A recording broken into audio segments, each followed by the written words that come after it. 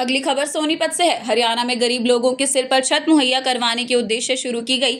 महात्मा गांधी ग्रामीण बस्ती योजना के अंतर्गत आज प्रदेश के अलग अलग जिलों में 7,500 से अधिक बीपीएल लाभार्थियों को 100-100 गज के प्लॉटों का कब्जा प्रमाण पत्र दान किए गए। इसको लेकर जगाधारी में जिला स्तरीय कार्यक्रम आयोजित किया गया। हरियाणा के कृषि मंत्री कंवरपाल गुर्जर ने कार्यक्रम में बतौर मुख्य अतिथि शिरकत की।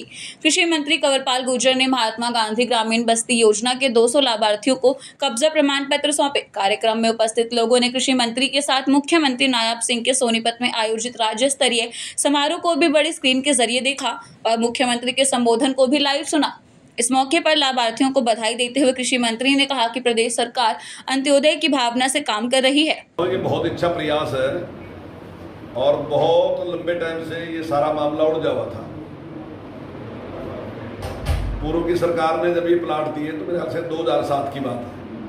और 2014 तक उन्हीं की सरकार रही तो मैं समझता हूँ कि शायद उन्होंने इस बात की चिंता नहीं की, क्योंकि उन्होंने चुनाव के लिए सारा कुछ विचार था उनका।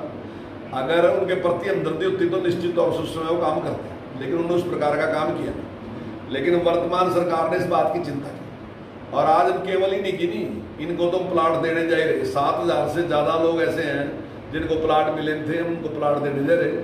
और सारी रजिस्ट्री और दूसरा कब्जा सब कुछ दे रहे थे साथ में इसके साथ ही हम ऐसे गरीब लोग जिनके पास ज़मीन नहीं है, उनको भी एक लाख रुपए देने की अपनी योजना बनाई ताकि वो अपना प्लाट खरीद सकें। तो इस प्रकार से जो माननीय प्रधानमंत्री जी की एक सोच कि दो हज़ार सैंतालीस तक भारत को विकसित राष्ट्र बनाना तो उसमें ये भी ज़रूरी है कि हर आदमी के सर पर छत होनी चाहिए। तो उसमें ये एक मील का पत्थर साबित होगा और हमारा